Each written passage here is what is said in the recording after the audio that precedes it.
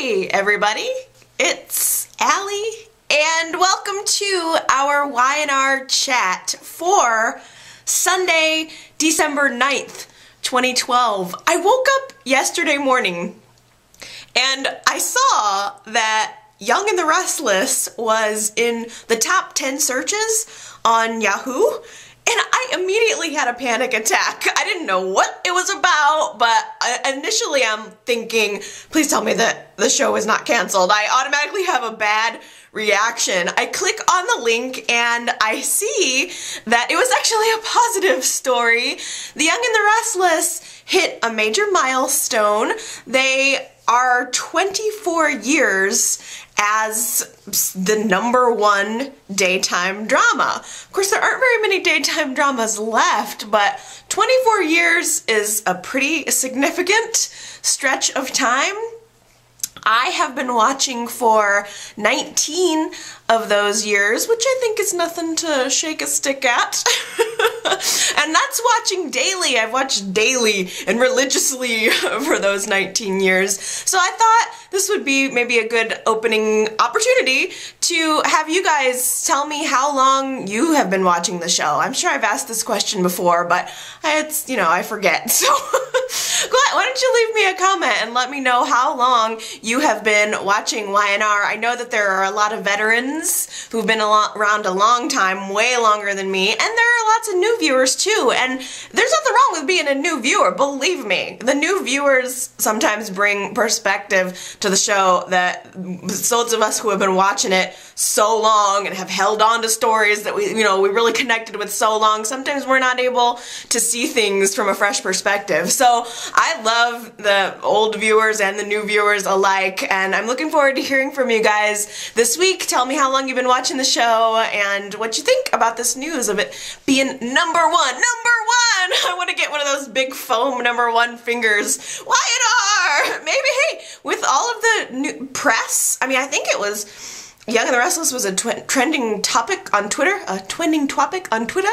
Um, so that's good. Who knows? Maybe that could bring in some new viewers. The more viewers we have, the longer the show will run, I hope, and the more people will get engaged. And I always love to share my love of Y&R, so I hope that that just ropes more people into watching. It's a good show, and it's just as good as any of the nighttime dramas that are out there. I love Y&R, I always have, and I'm gonna watch it till the day it dies. and I hope it never does. but this week started out with a huge fight between Adam and Chelsea because at the end of last week's show, Chelsea gave Adam an ultimatum.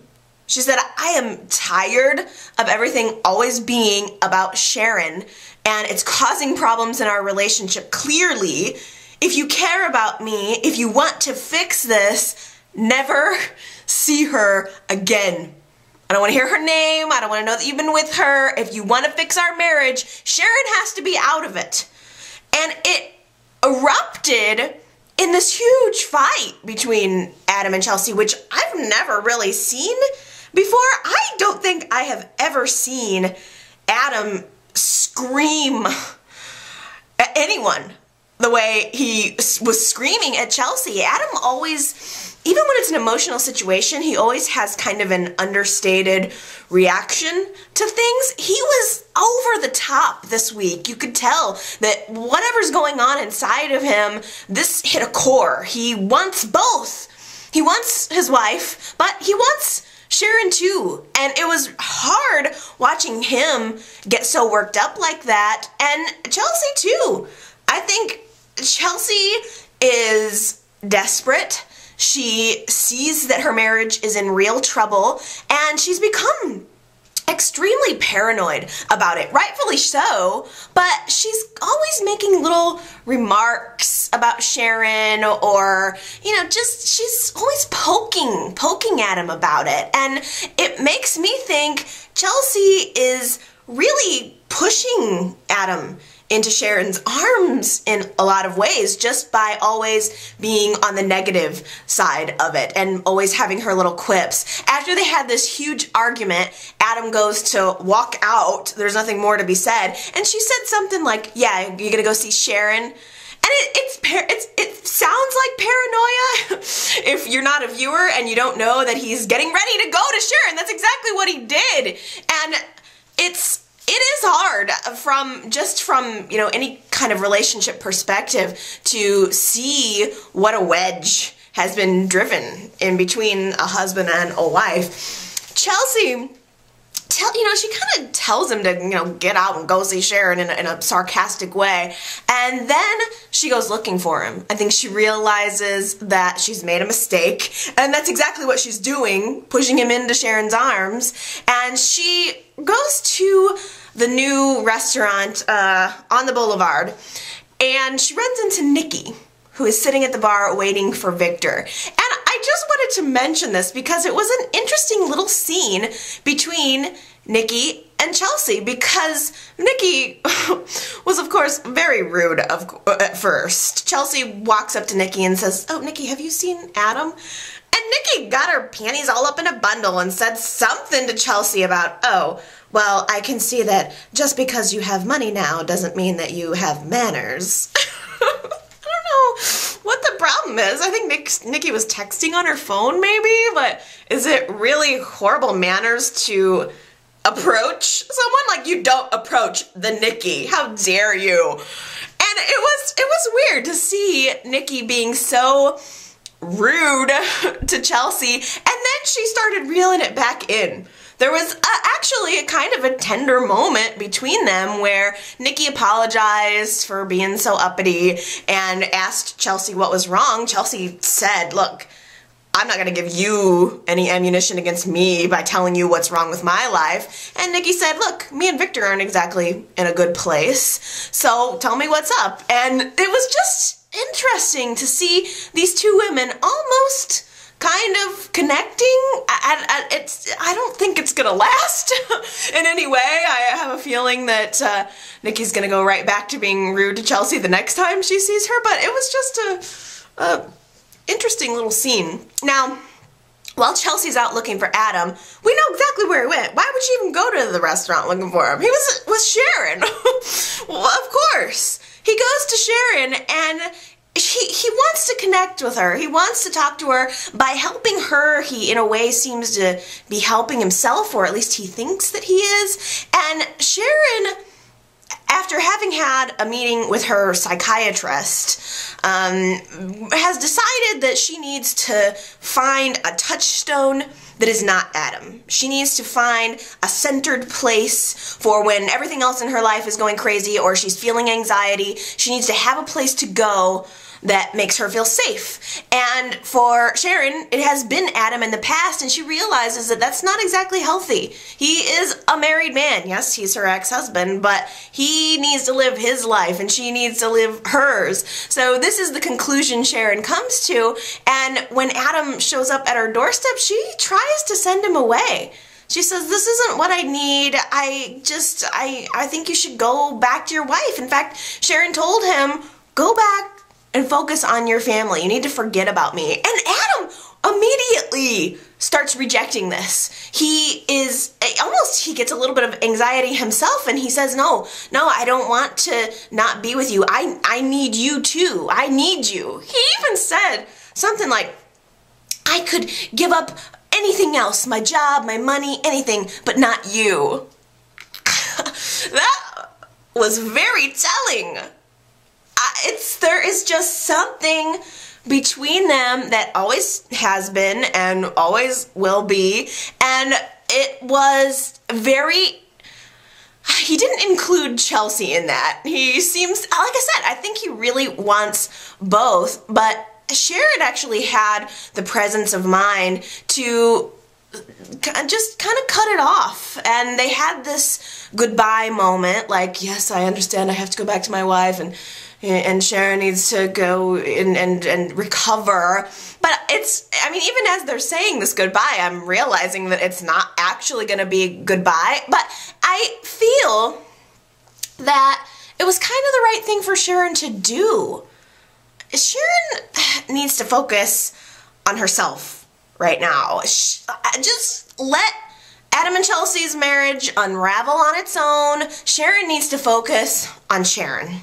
So I, at the end of that scene, I actually kind of thought, all right, all right, I'm okay with this. Sharon, she's gonna do her thing. Adam and Chelsea, they can do whatever they're gonna do. Obviously, the damage has been done. But Adam goes home to Chelsea, and she's waiting there for him. And he actually said something to her to the effect of, it's done with Sharon. Just so you know, it's, it's done with Sharon. And he presented it as if he had cut things off with Sharon, as if he had ended whatever was going on between them, when it was Sharon. He wanted to stay, he wanted to continue this, and I thought that was very revealing that he kind of wanted Chelsea to believe that he was done with it of his own volition, and that really was not the case. not good news for their marriage. You know that the damage, again, has already been done. And Sharon is on damage control for her own life. Nick found out from Phyllis this week that Sharon is back. Phyllis saw Sharon and saw and was saw Sharon and Noah and knew that Noah knew. So um, Nick found out about this. He confronts Noah immediately, not happy that this is a secret that has been kept from him. And Nick and Noah go to see Sharon. Now, this is the first time that Sharon and Nick have seen each other since probably Victor's funeral, I would assume. And at first, Nick was pretty sensitive. You know, he he was handling her with kid gloves. And I have been thinking within the past week, why isn't Nick helping Sharon more? Why wasn't he trying to find her and making that a top priority in his life? Why was it Adam? Because Nick and Sharon uh, were supposed to have some kind of incredible connection. They always have. And it, it does bother me that that seems completely gone now. I realize that a lot of water has flown underneath that bridge, but at the same time, they do still have two children together, a young child. I mean, they were in love enough to have sex and have a child a couple of years ago, so it doesn't entirely make sense to me that Nick would be so removed from her life, but Nick is judgmental. He really is. He's been through and so much with her that you can just tell he's he's domineering and he is judgmental. Like he always wanted Sharon to be a certain thing, a, a, an angel, and as soon as she wasn't that, it, he started wandering. He started having the affair with Phyllis, who was the exact opposite. And so it just it, it bugged me about Nick a little bit, especially when he started pressing Sharon. She's clearly upset and delicate and it's difficult for her to come face to face with Nick. And he starts I don't know like telling her she actually opens up and tells him that she has bipolar disorder and he immediately is like who is your psychiatrist? I want to meet with them. That is so incredibly incredibly inappropriate. Where did you find this psychiatrist. Who is this person who's telling you this? I, I must get up all in it. And she tells him, you know, Adam has been the one helping me. He hooked me up with her. And as soon as Nick hears Adam's name, he freaks out. He starts grilling her about Adam and, and everything, where she's been, what happened with the ranch. Straight up asked her if she burned down the ranch, to which she was like, no, no, of course not. And, um, and it was, it was hard for her the whole thing was, I think, hard for her because Nick was like her worst case scenario of people to face. She has been, you know, real, skittish about uh, getting uh, seen in public and and being able to to face these people that she's hurt again. And Nick, I think, was the first person she faced and probably the hardest person that she had to face uh, because he's so judgmental of her. But she conquered it. And she was able to do that. And I think that gave her a little bit of strength. I think that helped her carry on. Now, as soon as Nick leaves her house, where does he go? He goes to Adam. at Newman Enterprises, where Adam's sitting behind the Newman Enterprises desk, and he confronts him immediately, like, I don't know what you're doing with Sharon. I don't know what your MO is, Adam.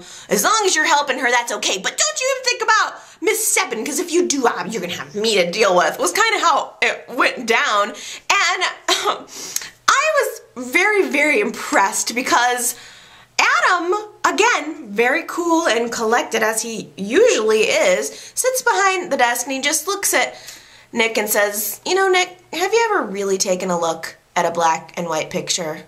It's mostly gray. We're all gray, Nick. Best line! Best line I think that I've heard from Adam and I don't know how long. And he said it to establish that I'm not all good, I'm not all bad. Nothing is really all good or all bad. It is many shades of gray. And that's what I am. That's kind of what everyone is. And I just thought that was, it was just such an, a great line. It was very insightful into his character. Uh, I, I just totally enjoyed that scene because of that. And, of course, this visit between uh, Nick and, with this confrontation of Nick coming to see him created an excuse for Adam to go back to see Sharon after they had just had this dramatic goodbye. He goes back to see her. She, uh, Sharon keeps pushing him away and he keeps coming back.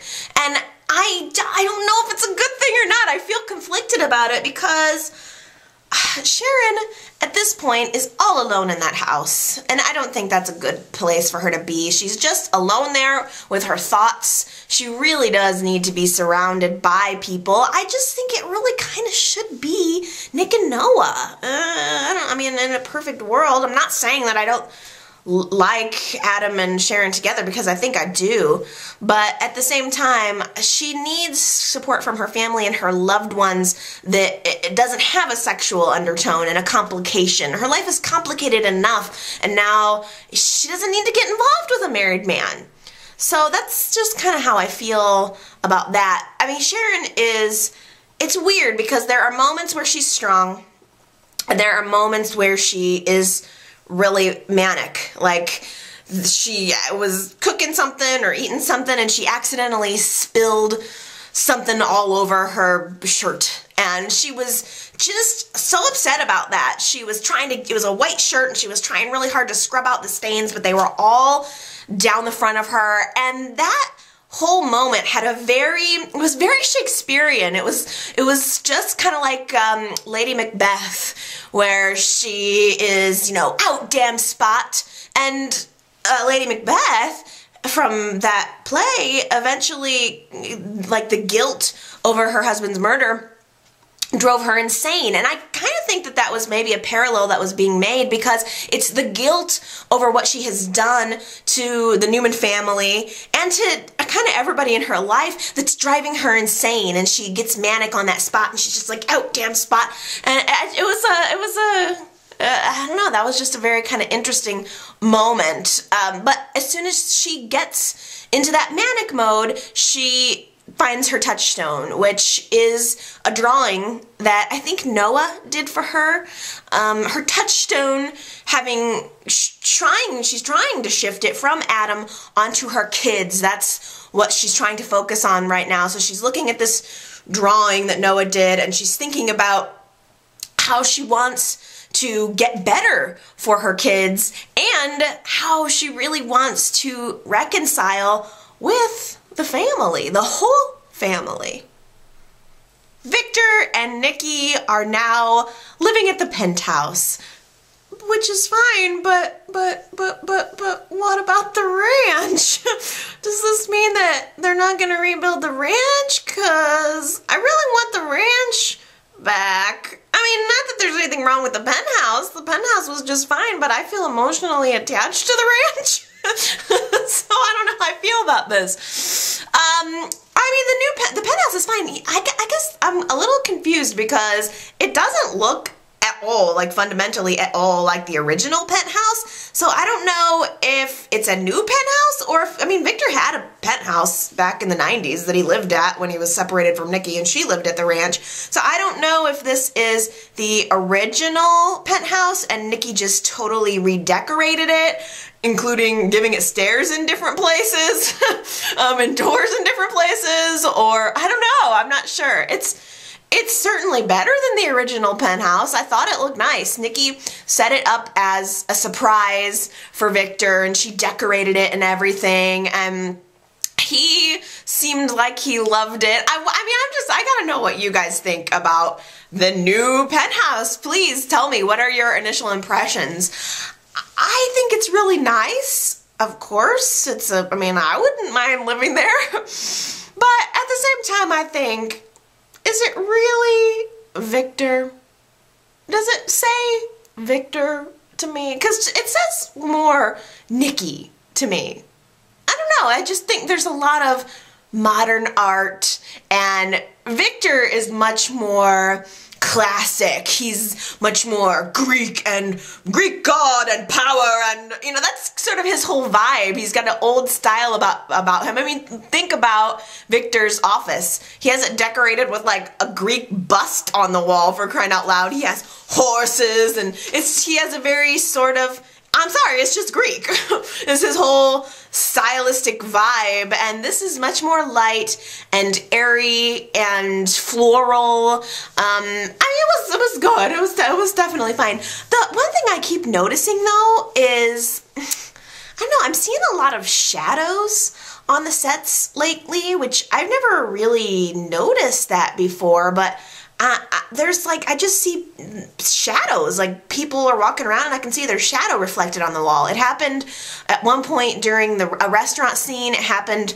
at um, the tack house and it happened at the penthouse. And I mean that's kind of bad. Like a professionally lighted set shouldn't have shadows I mean I shouldn't see shadows of the of the characters on the walls in the background. I don't know. That was just kind of weird. I'm wondering if anybody else noticed that. But whatever. I like the new penthouse, even if it is more Nikki than it is Victor. I like the piano. I, am glad that they brought that back into the picture. And Nikki sat down and she played Victor a little song, which was cute. Does, does um anybody know if Melody Thomas Scott really does play the piano? I don't know if it's if that's her playing or if that's totally a trick. I have no clue. But it was a nice moment. They're relaxing in their new place and um, you know having her play him a song, and it's very indicative of them getting their relationship and their life and rebuilding it all.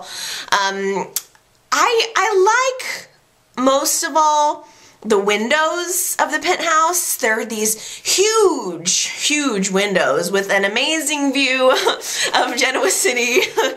and it was it was just a great skyline. I love the shears that are over the windows. Um, I love, I really like all of the floral arrangements. I think it's nice, it's fresh, and I was pretty excited that Nikki and Victor decided to have a party to celebrate their new place, like a housewarming party. It's I it's been a while since we've had a formal event. of course, I'm sure when you all throw housewarming parties, it's formal.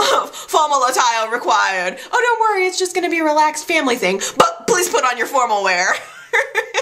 it was a very classy shishi event, which I was excited about because it's been a while. You know I like to look at their clothes. Um, everyone pretty much was invited that was in the close family. Abby couldn't be there, so she sent her own gift, which was a case of champagne and a bartender. named Carmine to wait at the event, which was a funny little uh, jab, I think, at Victor, like, here's your gift and my boyfriend. Now, interesting casting update Marcy Rylan is coming back to Y&R as Abby, and I am so excited to hear what you guys have to say about that. I it's it's funny because I was so irritated with the character of Abby for ever for so long and then as soon as she left I was like mm, I miss Abby so I really hope that bringing her back is going to, I hope that they're going to focus on her. I hope that they're going to give her a, you know, a conscience and that they're going to, I don't know, really focus on the character and give her her own storylines rather than just being a B player. I think if we really get to know Abby, it'll be easier to like her this time.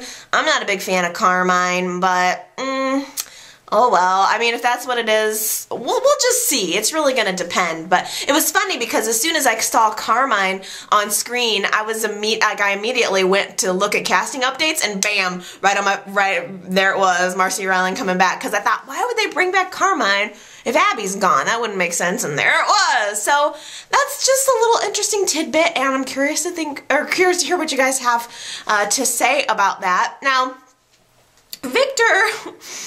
In addition to the, you know, the regular usual suspects, he invited Adam to this party and didn't tell anyone by the way. I didn't tell Nikki that he was inviting the black sheep son that everybody hates.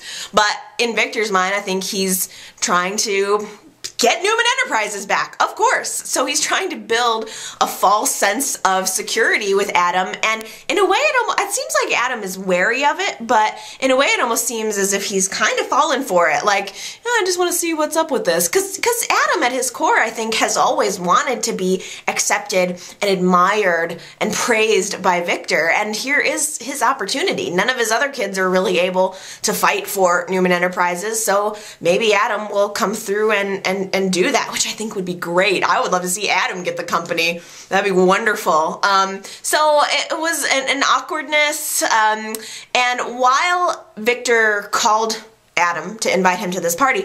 Sharon overheard in the background, of course he was with Sharon, that the, there, there was a party. so Sharon becomes aware of this party. And at first, Adam didn't want to go. He, you know, was suspicious naturally, but he changes his mind and decides to take Chelsea with him and they go they go.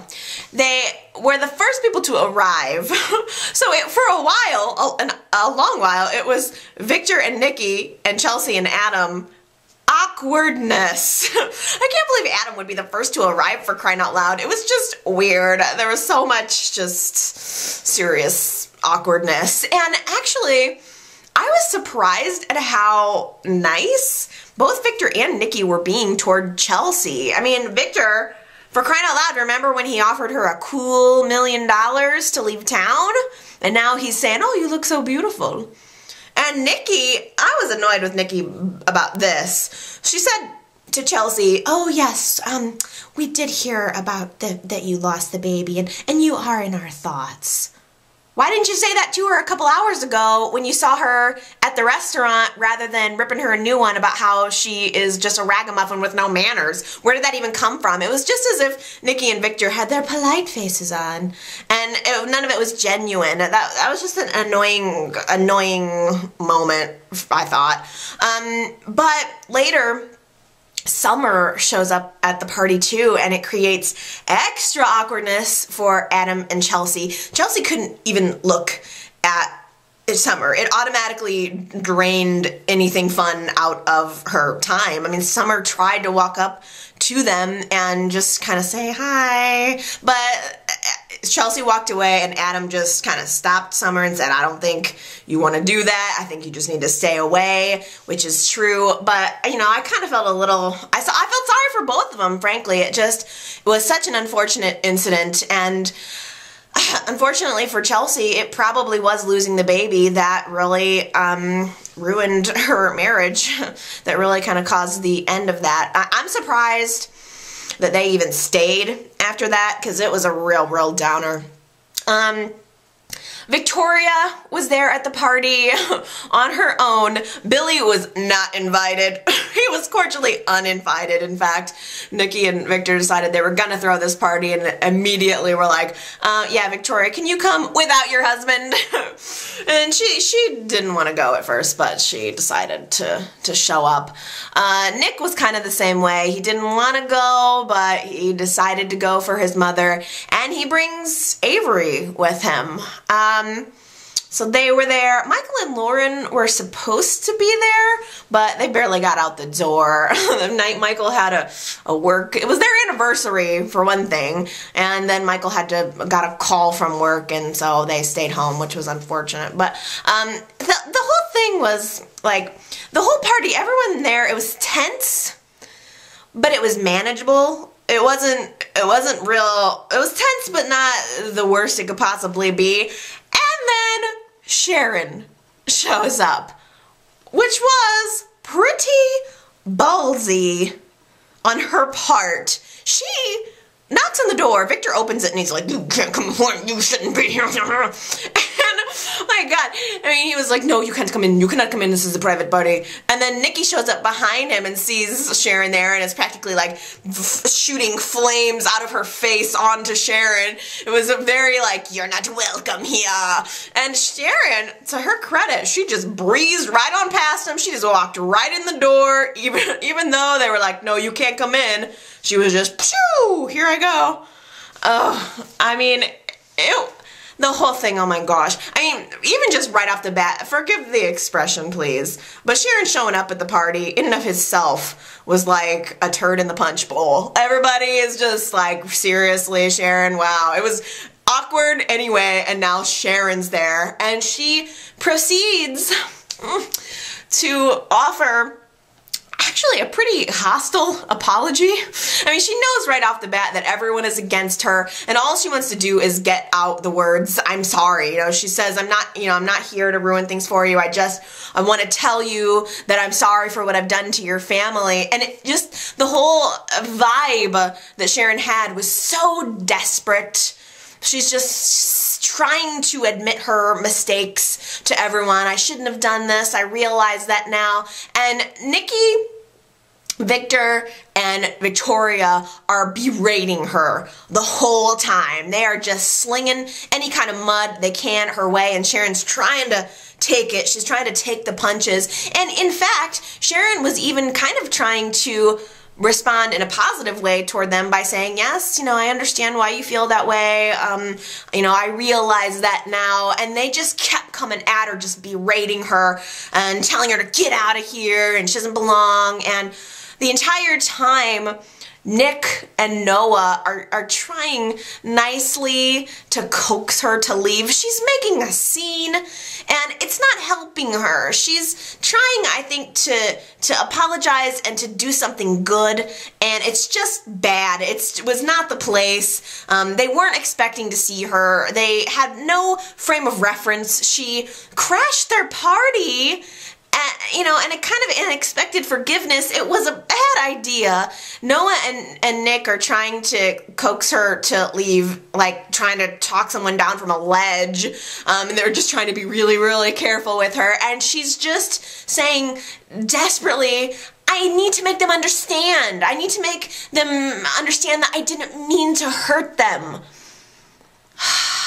she was actually, for a lot of it, almost childlike, just kind of screaming and just, I know I want them to know that I'm, I, you know, I, I'm sorry. It was very, uh, just almost like a fit but i mean it, it, was it was really sad. I, I don't even know how to describe it to you. It was just so sad and so desperate and i really did have a tear in my eye watching her do that but also kind of this pitiful look on my face like oh sharon oh girl you have made another mistake. Mm mistakes on top of mistakes. There was no forgiveness in that room. And in fact, Chelsea had Adam on a leash the entire time. Mean, she had that leash tight up on him, like, don't you dare. Don't you even think about it. Don't you say a word to her. Don't you try to interrupt on this. Don't you even think about riding to the rescue. and Adam did. He did. He tried. He's he couldn't help himself. He had to stand up for her just a little bit and then tell her, "There's no forgiveness in this room. You really should go." Uh, but she she just really was not hearing it. I think she genuinely thought that she would get forgiveness if she had admitted her sins. That was almost the whole idea behind it. If I confess, you know, if I say that I'm sorry, then my conscience will be clear. And it was very hard for her. obviously it was very hard for her. Um, she was struggling the whole time, and it's it's not uh, insignificant that she had the strength to face her enemies and try to make amends. I think her heart was in the right place. It was just she forgot who she was dealing with. She's been out of the loop for a while, and she forgot who she was dealing with. I mean. Victor thought she was drunk. He straight up said, You're drunk, get out. And uh, she said, I haven't even had a drink. I mean, she's so out of it. She's just spinning around. It was, it was not, it was only devolving. It was bad from the minute she walked in the door and worse the minute she ran out in tears. Ugh. My goodness, she just like bolted for the door in tears and I Adam actually went after her when she left, which I thought why does he have to be the one to go after her? Why why wasn't Noah why weren't Noah and Nick managing the situation better? Well, especially Noah. He's been really really close with her. Why couldn't he have just okay, mom? Why could like I just uh, why didn't he run after her? I, I'm I feel like they are being so much less supportive than Adam. And while Adam's being super supportive of Sharon, he abandons Chelsea at the party with no ride, no way to get home. Victor had to, send, you know, give her his car, like have a driver take her home. That is so freaking rude. He just abandoned her after she was like, don't you dare. He did it anyway. He goes running out the door after Sharon and my goodness, like the tension between everyone just got worse after that, especially with uh, with Nick and Victor after Sharon was gone. Nick actually walked up to Victor and Nikki and Victoria and started pointing out how totally inappropriate it was for them to start just leaning into Sharon and saying horrible things about her and to her in front of Noah, who was right there in the room. So it was totally rude. Like, Victor and Nikki and Victoria were especially evil towards Sharon. But I am trying to see the other side of this because they don't know that she is mentally ill. Sharon tried to explain to them, you know, that the reason I did what I did was because I was sick. I was sick. And she didn't elaborate further on it. She wanted to tell them that she she wanted to tell them about her illness, but she couldn't I think she, you know, knew that it was just opening up a, another weakness. So Victor and Nikki and Victoria, although they were evil toward her, they didn't know that she was mentally ill.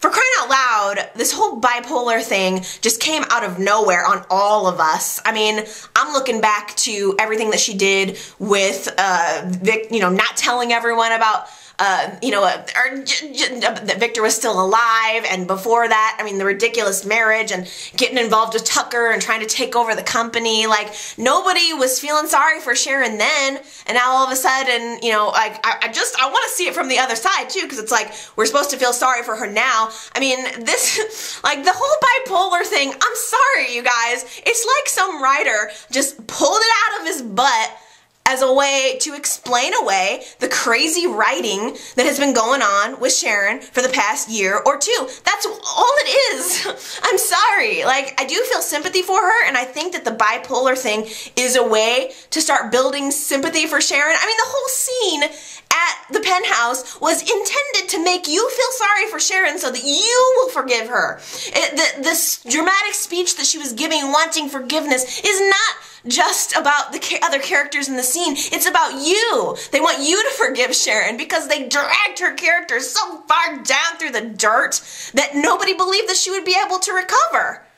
This is all part of it. And if you just if you ask me, Sharon was totally cognizant of what she was doing to Victor and to the rest of them. She was horrible to Victor and Nikki and Victoria too. So there's a reason that they were ripping into her, and there was a reason, I think, a conscious reason, that Sharon was ripping into them when she was doing all the things she was doing. Sharon had no problem waltzing right into that boardroom announcing that she was Victor Newman. She was gonna take over his company and be him. That was cognizant.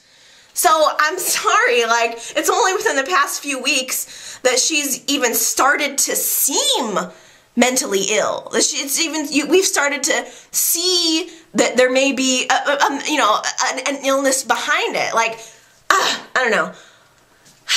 I'm sorry. this has nothing to do with me disliking Sharon in any way because I don't. I love Sharon. I have loved Sharon since the day she walked into Genoa City. I was watching the day she walked into Genoa City, so it's not an anti-Sharon thing in any way. I, I'm sorry. It's just that the whole bipolar thing is clearly a plot device in a couple of weeks, maybe even a couple of months, they will get Sharon back to where they want her to be on an even keel. You will never hear another word about the whole bipolar thing. And if she ever starts acting crazy again, it'll all be just blamed on that. it'll be like, oh, Sharon, did she go off her meds?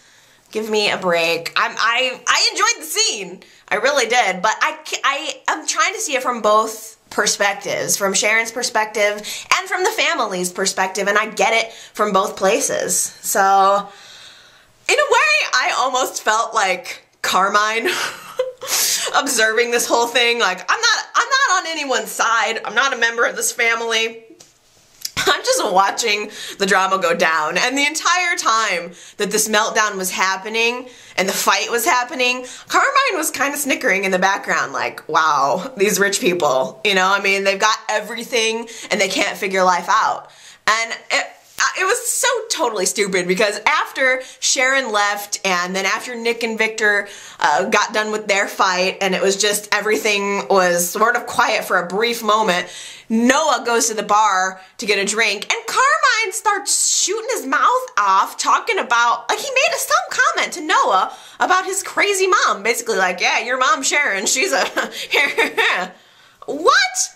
Like, you don't talk about somebody's mama like that. I mean, Noah immediately grabbed him by the collar and they had to pull him off of him. Like, why would Carmine go shooting his mouth off about someone's mother and not expect to get in a fight? Oh, that was bad. I mean, that was just like the perfect end or the perfectly horrible night. Victor just gives Carmine a wad of cash and says, Get out of here and don't you come back again. I don't ever want to see you in here again. Never come to my house again. Which you know he probably will, just because of that. Um, so, by this time, Sharon has gotten home and she is just, this was a bad idea, this was a bad idea, why did I do that? It's a bad idea. And Adam arrives just a few minutes after her. He's trying to tell her that everything is okay, trying to understand what she's going through, trying to identify and help her feel comfortable. And um, I mean, he's really he's trying to make kind of excuses for her in a way, like your heart was in the right place. You know, I mean, he he understands her, but she, although she wants to be close with him, she is still hesitant. You know, he's saying all the right things, and I think that he has the ability to calm her down. He has the ability to make her feel safe again, and that, you know, maybe it wasn't a good idea, but it's okay. This isn't going to totally ruin my recovery. But she hears what he's saying, but does not want to be involved with him. She wants to be able to do it herself and not have to rely on him. So she tells him again to leave. She says, You need to get out of here now. She runs over the door. She flings open the door wide, just in a get out. Go ahead. The door's open for you. Just go.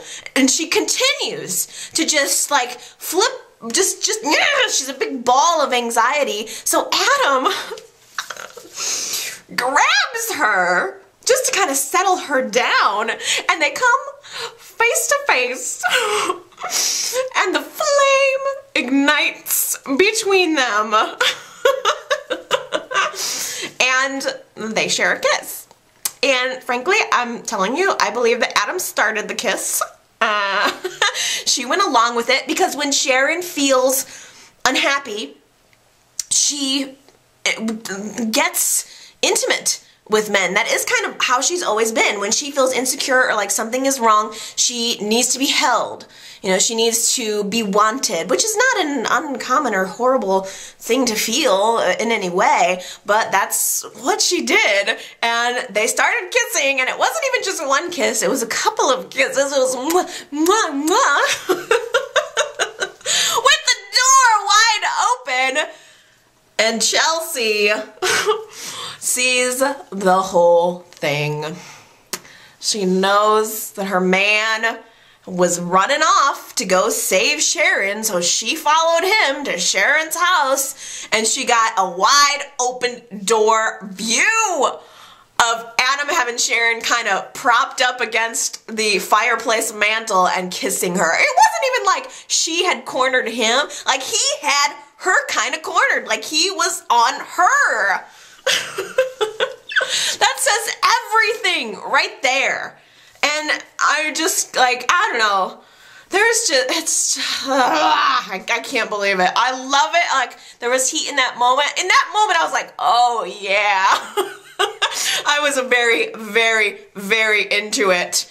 Um, but at the same time, I'm like, oh, shoot. I want Sharon to get better on her own and not, you know, need to have a man to do it. But Oh, I saw the preview for Monday's show, and it looks like Adam is going to turn around and like uh, and tell Chelsea, "Look, it's it's not what you think."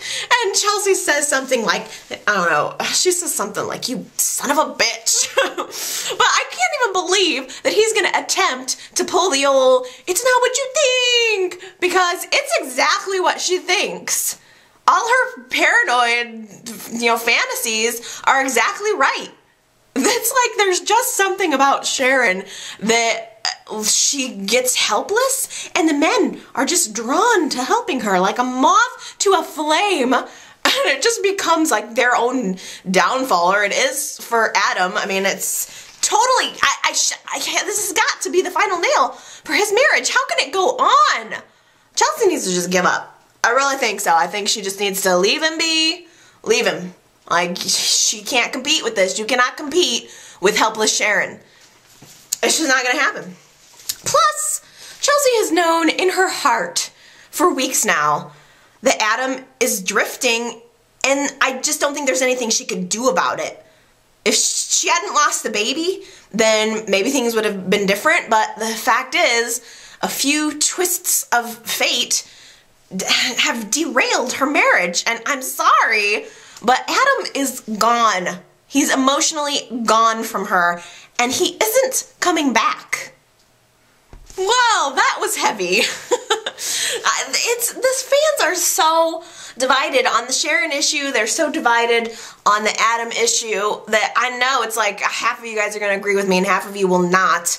Um, and, and, it's hard to talk about, you know, but you just, uh, it's a heavy, heavy subject. So I feel like let's move on and talk about something fun for a little bit. You know, I love when there's an event so that I can see what everybody is wearing. So I thought we would talk a little bit about the fashion at Victor and Nikki's party. And I wanted to ask you guys, who do you think was the best dressed and the worst dressed. I can't wait because I know you had opinions. Um, I'll tell you what I think. First of all, I thought the best dressed, hands freaking down, was Avery. She like was incredibly stunning in that red dress. It, she was like, oh my god, her blonde hair, blue eyes, beautiful bright red dress, bright red lips, the the cut of the dress was so awesome. It was like bare around the shoulders and then just a real tight shrug. It was like a totally classic look. She, I mean, she stood out in that red dress. I mean, I'm watching the scenes and I can't even. Is there anybody else even in the room right now? Because for me, it's all about Avery. She looked so freaking good. Um. I also, honestly, I, I really like Sharon's dress. I thought she looked good. It was nice, for one thing, to see her dressed up. She's been very cash for I don't know how long, but she had on a smoky eye. She had on some eyeshadow, some eyeliner. Um, her, you know, she had on, it was like a violet colored dress, which I loved and she had on a belt, like a tie belt with a sparkly applique kind of on the front. So it was like a beautiful violet all color and then sparkly diamondy right on the waist. She just looked really thin and really good there. The only thing I would have changed was the hair. I just want Sharon to have different hair sometimes. It's always bone straight and parted right down the middle. We need to do something else. Like, I wish you'd go see whoever cut Victoria's hair because I mean, it needs some body, it needs some curl. Like, just take it up a couple of inches, maybe six inches. Give it some softness to it and, and a little bit of curl, a little bit of something. Or, or for crying out loud, put it up sometimes or leave it down sometimes or do something. Her hair is always the same. a special hair would have really made the whole outfit. But I did like how she looked. And I liked how Chelsea looked too. She had um um this plum dress with kind of a crisscross halter. It was like a halter top, but then it crisscrossed kind of around her neck. And um, it was just, I don't know, it was really beautiful. Beautiful. Actually, I kept looking at it at different points, and I couldn't tell if it was plum or if it was like brown. I don't know, because it seemed like it was looked different in different lighting, so I don't know what color it was actually now that I think about it, but I, I liked it.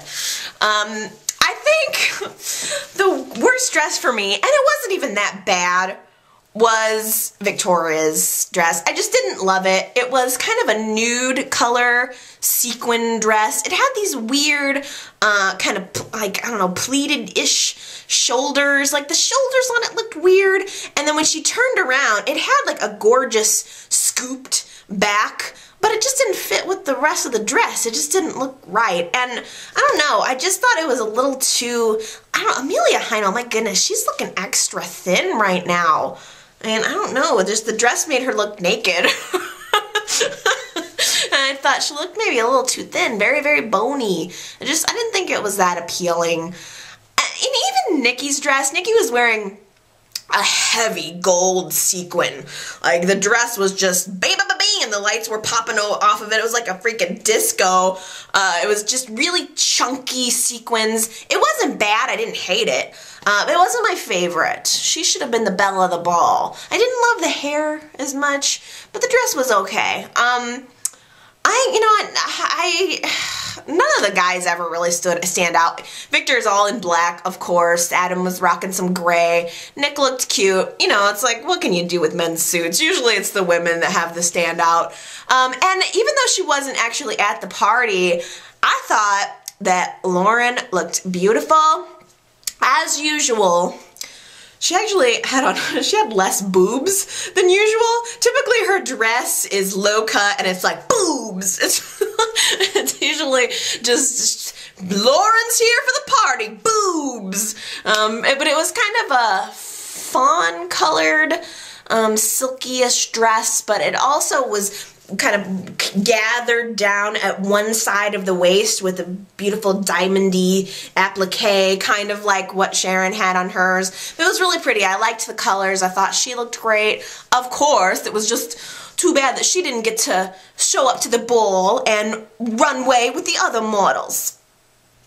There are definitely some things that I like a lot about Nick and Avery, but there are also some things where I'm like, hmm, I don't know about that. The week started out with Nick and Avery having side-by-side dinner scenes. Nick is trying to make himself a TV dinner while Avery is putting together a gourmet dish, uh, beef bourguignon. I don't even know what that is, but it sounds fancy. It sounds delicious. But Nick can't even make a TV dinner. He ends up burning it in the microwave. I don't know how that's possible. The plastic was all melted. How can you screw up a TV dinner for crying out loud? so Nick calls Avery, I think, wanting to get a meal. And what do you know? Avery has a meal. Like, as if Avery was at home cooking beef bourguignon for one. Give me a break. She was hoping for that call. She was hoping that Nick would come over and she just happened to have a beautiful dish ready for him and it worked. Uh, uh, I think she was also especially hoping that Nick would give her a call because she knows that Nick needs a new direction in his life, and I think we all kind of know that Nick needs a new direction, a new calling, but Avery thinks she has it all figured out. She takes him to a building I guess it's a it's kind of an empty, uh, sort of dusty building with uh, with tarps covering the furniture, and it's a it's a big surprise. She says, "Are you ready to see your future? Here it is." He walks in the door, sees this place, and she informs him that this is his new nightclub. Or it's his it's a suggestion. She suggests that this should be Club Nick. This should be the new direction of his life. And um you know, I want to get excited about Club Nick. I really do. Uh, at the same time, it has kind of been done. Like, do you guys remember when Neil had a nightclub? What was it called? Uh, you guys are gonna have to remind me. What was Neil? What was? This is the Y&R trivia, and this is how I know if you're really paying attention. What was the name of Neil's nightclub? Um, you have to give, leave me a comment and let me know what you think about that, or what the answer is to that. Um, but I mean, at the same time, it's like, yeah, we've we've had nightclubs before. I almost wish it was something a little more original. I don't know what. And but also there's the the point that I appreciate the thought from Avery. I think that's really great that she's trying to push him um, into a new direction. But it also kind of annoys me that she's known him for, what, five minutes? And she is driving his major life decisions. I mean, it's not like Nick is hurting for money. I'm sure he could buy a hundred of those buildings, or heck, he could open a hundred nightclubs if he really wanted to. But at the same time, I think he randomly told her a couple weeks ago that when he was a kid, he wanted to be a rock star he never said anything about wanting to own a nightclub. How do those two interact? I mean, because there'll be a music at the nightclub? I mean, it's just, I don't know, I don't know, I don't know. We have so many restaurants. How is the nightclub going to be different? There'll be music? Dancing? I mean, I don't know if any of that's really gonna, does, does it really work for dialogues? I don't know, I don't know, I don't know. I'm probably just complaining. Frankly, I'd rather see them revamp the coffee house and make that cool, you know, or something, like maybe add an internet cafe or, or I don't know, something else a little more, like I enjoyed the spa. I thought that was kind of a fun thing for the women. I don't know, I'm not, in, maybe it's just because I'm not much of a clubber. I don't know. I'm going to keep myself open to it. Of course, we all know Victor is going to be very disapproving of his son's life choice once Nick announces that he's going to open up a club. Victor's going to hate it. I mean, I remember when Victor was disapproving about Nick and Sharon buying the coffee house and running the coffee house. Um, if you're a newer viewer, maybe you don't know that it was Nick and Sharon who originally started Crimson Lights and they ran it together. And of course, everybody said they couldn't do it, and it was just kind of born out of their love and it thrived. And later, when Nick decided that he was going to go back to Newman Enterprises, I believe, um, they decided to sell it, and Kevin ended up buying it. But um, it, it was, again, a situation that's kind of been done around Nick. We've kind of already seen this, and instead of Sharon, it's now Avery. Uh, I don't know. I don't know. We'll just have to see. Like, I, I, I'm nervous because I'm afraid that Nick will eventually get bored with the club, just like he does with his women, and then he'll move on. But I, I, I'm gonna try to keep my mind open. Maybe it'll be fabulous, and it'll be the greatest thing that's ever happened to Y&R. So we'll see. I'm gonna give it a whirl. Um, you know, I don't know. I'd rather have people at Nick's new club, Club Nick, rather than them at the blue and brown restaurant, which I still hate, by the way. So I'm going to keep my fingers crossed that Club Nick turns out to be amazing. So Nick and Avery, this is kind of also a big step for them. I mean, I'm sure she's going to be heavily involved in this club. She'll probably be the head chef or at least a consultant on the menu or something. Um, but I mean, they're they're starting even to step out as a couple. Nick invited her to go uh, to this party at Victor and Nikki's together, and it was interesting that Avery, Avery didn't want to go to the party with him. She was really resistant on it. It's weird because she's been working so hard to want to be with him, and this is part of who he is. He is a Newman. If you're gonna take all of the Newman awesomeness, you kind of got to deal with the crap, and there's plenty of crap. So she did end up deciding that she was going to go to the party, but I wonder why she was so against it. And I almost think that maybe it was that she was kind of worried about what this says about her. I mean, she is, after all, dating her sister's husband. They're not even divorced yet. I wouldn't feel entirely comfortable taking that out into public either. So, uh, I don't know. There was a lot of hesitation there, and I think that's the reason why. The party was a disaster, of course, and after that argument over Newman Enterprises between Victor and Nick, that just sealed the deal. When Nick got home, he was like, that's it. No matter what, I'm not going back to Newman Enterprises. I think the real question is, how soon will Club Nick be open for business? Phyllis just found out that Summer has been skipping school and I, I think it was pretty rude of Nick to not tell Phyllis. Nick knew last week. Uh, of course, maybe it was only a couple days in Y&R time, but he should have told her right away. It's They share a daughter together. She needs to be kept in on the loop on what's going on in her daughter's life. I can understand why Nick wouldn't want to be involved with her, but he does need to be a parent together with Phyllis, and they're not very good at that. I mean, Summer's not even 18 yet. so it's still a joint effort raising this kid. Uh, and she's skipping school and hanging out in their storage locker?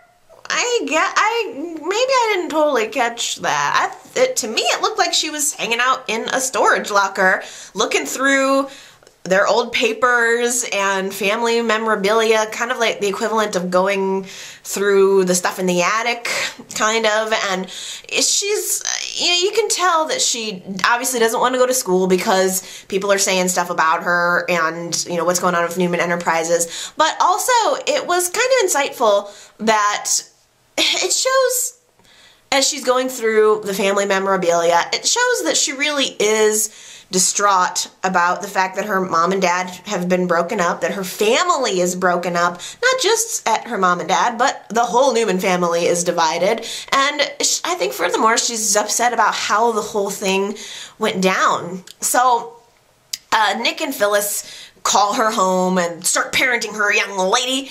And uh, everything is fine, of course, between uh, Summer and Nick. It's really that Summer has the problem with Phyllis that is driving this. Phyllis wants to ply Summer with gifts of makeup and stuff and be the good guy and be the friend. But what she really needed to do all along was have this heart to heart with her daughter. And that's finally what Phyllis did this week. They sat down and Phyllis said, I know you hate your family, but my family was way worse. Let me tell you what happened to me. And, and Summer actually started opening up a little bit and telling Phyllis what was really on her mind. And it seemed like at the end of that scene that Summer was starting to get back on the right path. Now, meanwhile, Fen is scaring me. He is scaring me. There's just something that's developed that's creepy about him. I like it, but it's creepy. Um, he's he's mouthing off to Lauren and Michael, seeming just unnecessarily hostile he's obviously jealous of Jamie and the fact that Summer has been paying attention to him and the fact that his parents have been paying attention to him and so Fen is taking it out on this poor kid. I, I mean, Fen confronted Jamie and was like straight up stay away from Summer and stay out of my life. Just stay away. And obviously the, Jamie was intimidated. It was kind of weird because um, now Fen is, you know, seeing his parents taking a shining to this kid. Michael and Lauren tried to invite Jamie to dinner over at their house, and they thought, hey, maybe these two, you know, maybe our kids can be friends, Fen and Jamie. And Jamie turned them down. He was like, no. And he kind of walked away all skittishly. And Michael and Lauren figured out that I think that, like, he's scared of Fen. Michael even said, who's scared of Fen? but he is. Fen has intimidated uh, Jamie, and uh, Lauren kind of took that as an opportunity to kind of connect with Jamie. She walked up to him and tried to talk to him a little bit. The kid is very standoffish. I just I, I like him. I, I I would love to see Lauren or just anybody else just take this kid under their wing. I, he's so cute and so he's just not confident in himself and he's had a bad life and I just want to give him a hug.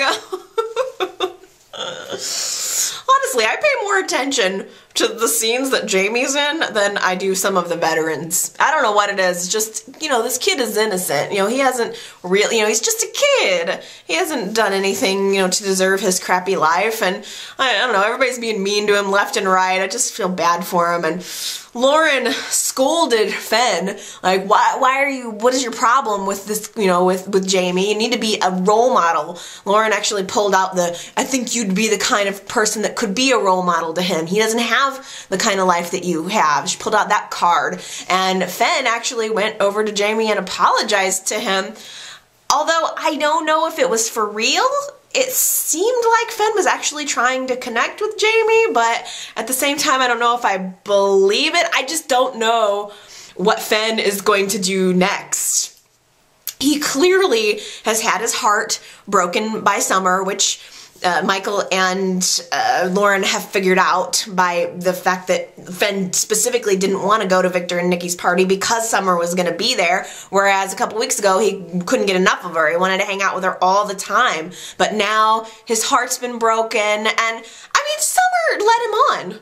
Summer got his hopes up with kisses and making out, and then she just dropped him. And I don't, I don't think she meant to. I think Summer is so selfish and she just didn't understand the consequences of toying with him. So now he feels slighted, I think, by everyone in his life. He's ignoring Summer's calls. She actually called him and asked him if he could come over to the party and, and help her and talk to her. She needed a friend right now, and Fen made up some excuse to get off the phone. But I just wonder, I, I wonder where this is going, and I kind of am thinking, I just wonder if Fen is going to maybe get obsessive on Summer, kind of in the same way that Michael got obsessive on Christine. What has Noah gotten himself all caught up in. He, he, got that bag of money delivered to him by this girl, Adriana, uh, with a note. I don't even remember what it said, like something like, take care of this for me or keep, hold on to this for me. He's holding money for this girl that he was in love with when he was in New York. And now a cop has showed up in Genoa City, a detective, uh, and NYPD to question Noah and to find out what, like, whatever this girl is involved in, it's bad, it's illegal, and now Lo- Noah is literally left holding the bag. I don't know if he was involved with, with it or if he was just kind of on the sidelines with whatever this girl was doing, but the point is, we have a new cop, um, which I was initially really resistant to. I'm just not into cops. I'm not into cop storylines. Um, but, you know, I thought that the guy was kind of interesting. His name is Alex, and he is an ex GH star, um, ex Diego on GH. Uh, but he is now in town. He's he's got a little bit of a different vibe about him. He's he first goes to the coffee house before he goes anywhere, and he starts asking Kevin questions about Noah. And it's funny that Kevin's initial reaction is kind of to lie for Noah. I don't think they're huge friends, but Kevin just kind of has the instinct to sort of cover up for someone in his inner circle. So Kevin gets real tight-lipped and doesn't want to tell the cop anything. But the cop, like, Alex is in the coffee house kind of being hyper. It's interesting. He has a an interesting presence um, within the scene. Like he he's like he's getting a cup of coffee and he's shaking the creamer, like showing Kevin that the creamer can is empty. And he grabs a pack of like the several sugar packets and just just shaking them, just shaking, shaking, shaking them during the scene. Um, really dramatically. It was funny. He just seems kind of hyper. And after he gets done at the coffee house, did, wasn't able to get anything out of Kevin. He actually goes goes to the ranch and knocks on the door and talks to Noah and Noah lets him in.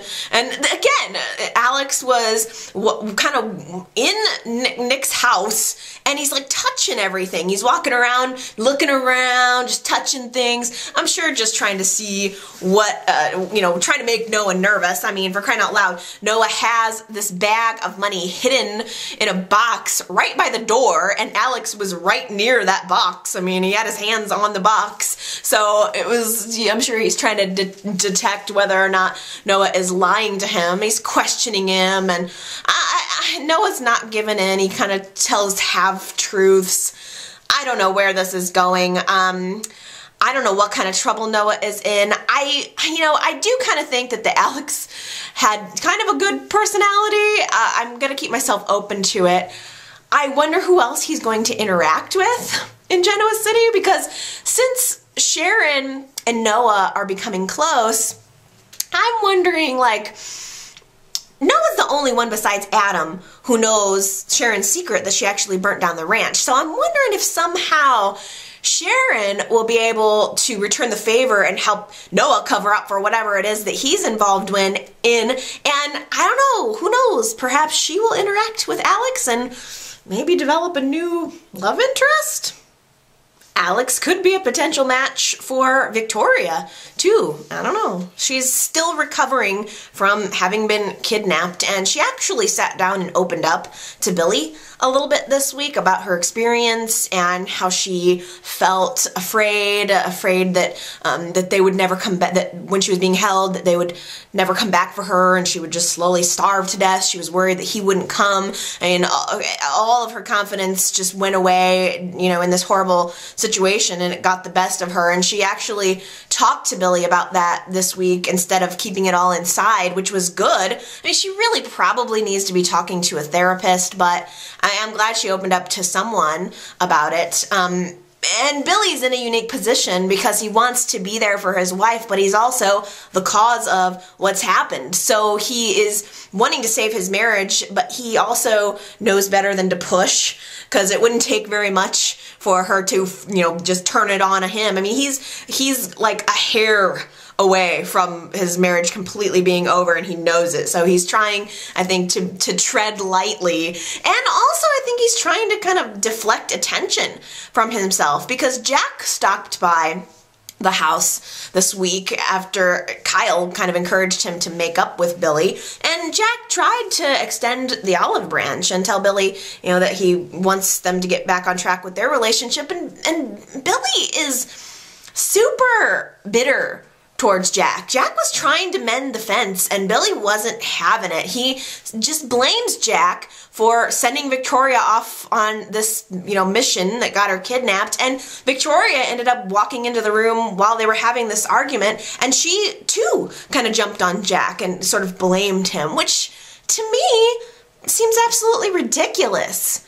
Like, if this guy wanted to kidnap Victoria, he would have done it anywhere, anytime. If she hadn't gone to Miami, he could have easily come to Genoa City and kidnapped her there. So I don't, I just don't see how it's Jack's fault in any way, shape, or form. Again, I feel like it's Billy trying to deflect attention away from himself, which is sad for Jack because even though they had falling out about what was going on with Newman Enterprises um, and Billy kind of being the mole, still they're brothers and Jack needs help right now. It doesn't seem quite like Phyllis and Kyle are getting the job done. So I think Jack needs his brother, um, and it's unfortunate that it's just not working out. Um, Victoria Again, she's trying to recover, but there's still stress all around in her life. She got the invitation to go to her parents' housewarming party. She didn't want to go, but she thought, hey, I still really want, I love my mom. I want to be with her and Nick. And she thought it would be like a quiet, nice family gathering. How wrong she was. I think when Sharon showed up, it, like, it just got Victoria riled up to the max. Uh, uh, Victoria was probably more riled up than anyone else there. It's uh, almost like Victoria was needing a place to put all of her frustration and anxiety and Sharon was there at the right moment and she just fit that bill and Victoria just was really vicious toward Sharon. Um, it was hard for her, you know, she's going through a lot too. They both are. Um, I think Victoria has a, a real obvious reason to be traumatized. She's the one that should be talking to the therapist, but she gets home from the party and Billy has created a surprise for her. He has converted the living room into an island theme, kind of reminding them of their marriage in Jamaica. There's lots of, um, you know, like probably coconuts and lots of, you know, palmy sort of stuff and it sort of looks like a beach. And um, I don't know if he's going to pop up and start serving her drinks and try to, you know, have this relaxing time with her or if he's just gonna stay away and let her have some recovery time just to, you know just to relax on her own without feeling the pressure of their relationship too. Like let her focus on her problems rather than the marital problems. Um, i don't know. I don't know what he's planning but another casting update.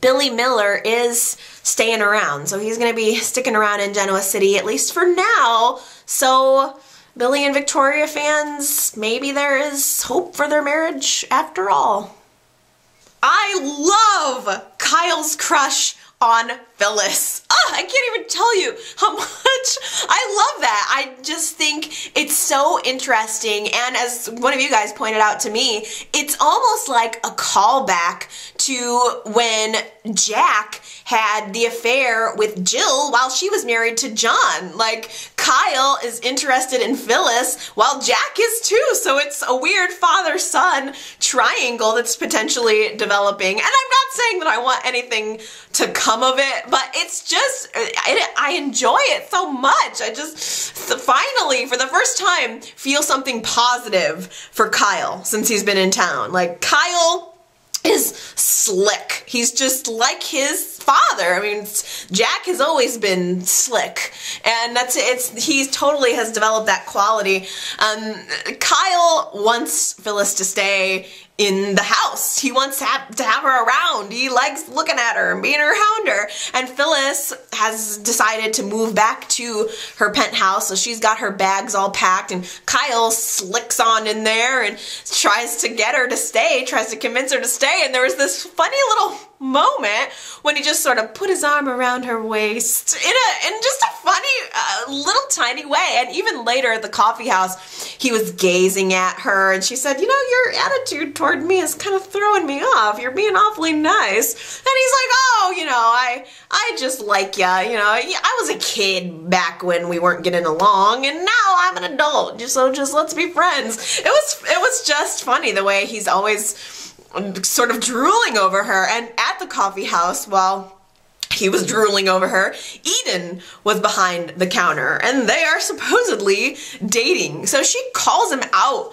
on this. She says, You're not really returning my calls, and now I find you here with Phyllis. She calls Kyle out on this crush and also she called Phyllis a cougar. she said something like, I, I, really, you know, Kyle talks his way out of it like, oh no, what are you talking about? I'm not into her. And Eden says something like, well good, I wouldn't want you to be involved with that cougar or something. It was funny.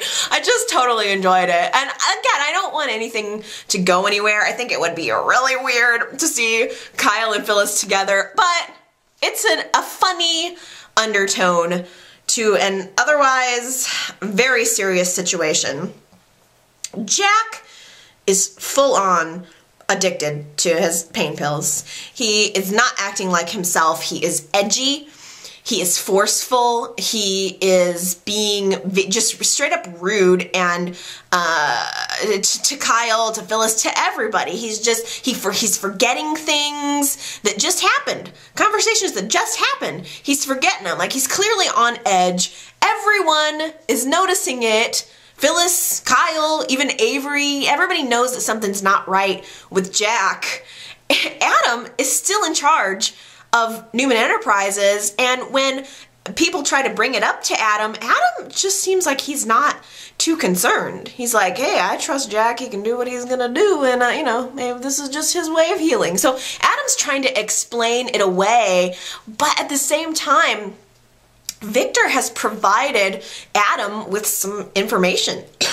Victor tells Adam that, you know, clues him in that Jack has taken some pretty heavy pain medicine and that it's an addictive. And adam is looking it up. It's in his consciousness. I think that as uh, adam tries to make it seem as if his he's just keeping Jack's seat warm, but there is, you know, his interest is piqued. Victor has pushed him, I think, just the right way, and Adam possibly is, he, he is either going to just hope Jack goes over the edge on his own and then that will benefit him.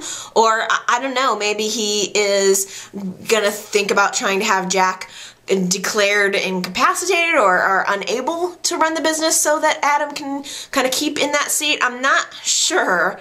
Uh, but Jack is getting close to the edge. He really is having problems. I mean, the fact that he can't remember what has just transpired is a difficulty for him doing business. He's pushing himself so hard and he is taking all of these pain pills. He's taking more than is prescribed and he's in pain and out of meds. He's he's taken all of the pills that he has and the doctor won't give him anymore. He calls up the doctor, asks him for a prescription, and the doctor says no. You, you, Jack keeps saying, "Oh, I lost the old prescription." The doctor, his family doctor, is not stupid. He can see right through this and tells him, "No, I'm not just going to write you another prescription. That's not how this is going to go down." So Jack calls an old family friend, I guess, an old doctor friend, or I guess, and asks him if he'll write the prescription. And Jack is real charming, you know, just says, "Oh, I just need these to to tide me over until my next appointment." You know, hey, you can just do me that favor, right, doc? And the doc, I mean, this guy doesn't want to do it either. It's not his patient. Basically, someone calls you up and asks you to just write a prescription. That's totally unethical. And the doctor even said, this is unethical. So Jack pulls out a lot of cash and says, hey, does this soothe your, your worries anymore? How about this cash here? As if doctors don't make enough money. Uh, I tell you what. The doctor ends up writing him the prescription, but tells him, don't contact me again. I hope that that doctor loses his license and gets prosecuted. I hope that that's where this is going because at first I was skeptical about this storyline. If it's just a pain addiction pill storyline, I mean, I, that's one thing. But I kind of think that there's an opportunity to take this in a good direction. Like, there are a lot of unethical doctors out there. I know, I used to work with them. I worked for years in the pharmaceutical industry, and let me tell you, it is a dirty, dirty business. And I, I think it's coming to light right now, especially because there are a lot of prescription drug deaths. And a lot of people who have money who can just buy drugs whenever they want them, it's especially a problem for them. So I'm interested to see Jack's recovery. But I also, I'm kind of, I hope that what we're going to see is some of the underlying issues be addressed. At the end of last Friday's show, Lily and Kane were making love on Neil's desk, and Neil was just about he was headed back to the office. He was just about to catch them and walk in, and then that totally got dropped. What happened to that? I thought that was going to be awesome. That was the thing I was looking forward to the most. I wanted to see Neil walk in and catch them in a compromising situation, and it would be like a wah wah moment. But no, it just went away. Well. Um, Leslie is coming to work for Jabot uh, under Neil's tutelage, uh, but uh, Leslie is very hesitant about it. She has been involved with Neil. They didn't have sex or anything, but they dated a little bit, and she realizes that it's probably not a good idea to uh, work for someone you used to date. It could get very sticky. So she's having this uh, conflict. Should I work with Neil? Do I want to work with Neil or do I want to date Neil? Because this sort of tension doesn't seem to be gone. I think Leslie is still very attracted to him. I think Neil is probably still getting over what happened with Harmony, but I, you know, he's probably interested. He's free. It's not gonna. It's only gonna be a matter of time until they do hook up, and you know, I think it could be good. I'm still holding out hope that Drew is going to come back, but I I think Leslie is very beautiful. She is very very gorgeous, and you know, she you know she could be a good match for Neil. We'll just have to see. I I'm going to have to keep myself open on that one and see where we go. She takes the job. And Neil just promises to fire her if things decide to get serious, which is not even funny because it's like this is her whole career. She was a partner at her at, at, Vance Abrams agency, and now she's working in a corporate job that definitely is not paying as much. I can almost guarantee that. Uh, but uh, yeah, so I mean, she's probably salaried for crying out loud. But she's working there now, and we'll just wait to see how things heat up between her and Neil. Where the heat is not for me is around Devon. I mean, Devon is working at Jabot. He's coming in. He's seeing that things are real stuffy. Um, Jabot is kind of a creative atmosphere, or it should be, and it's very kind of a boring place to be. So Devon is trying to convince Neil to stop being so stuffy. And he even, like, they had this conversation, I almost uh, Uh, zoned out. They had this long conversation about how maybe they should institute casual Fridays at Jabot. And I'm thinking, woohoo! This is exciting! Casual Fridays at Jabot. This is riveting TV here, you guys.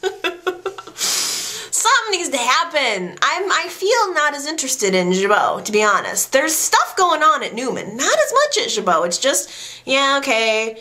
Neil and Leslie, chemist, sex chemistry, uh, Devon and Kane, possible rivalry. But other than that, there's not a whole lot of big moves. It's just not that engaging. I, I don't know. I feel like Jack has been talking a little bit about combining Jabot and Newman Enterprises. And I think I think that might be a good thing, just to get everybody kind of incorporated, um, to get some action happening. And I don't know. I feel like maybe it would be interesting if, you know, when Victor gets Newman Enterprises back, because we all know he will, if the companies are merged, I think it would be cool to see everyone having to choose a side. Okay, that takes me to the end. I've got no more YR chat in me. but I know you do. Go ahead, leave me a comment. Let me know what you guys think about this week's show. Um, it's always interesting to read your comments, so don't be shy. Go ahead and let me know what you think. I mean, I feel like I'm dishing out the truth here. I know I'm not making everybody happy with my opinions, but you can't make everybody happy, so I'm just going to tell you the truth, just tell you how I feel, and I would love it if you would do that in return. So go ahead, leave me your comments, let me know your thoughts, and I'll be back next week to chat with you again about our favorite show. So everybody take care. I love ya. All right. Bye.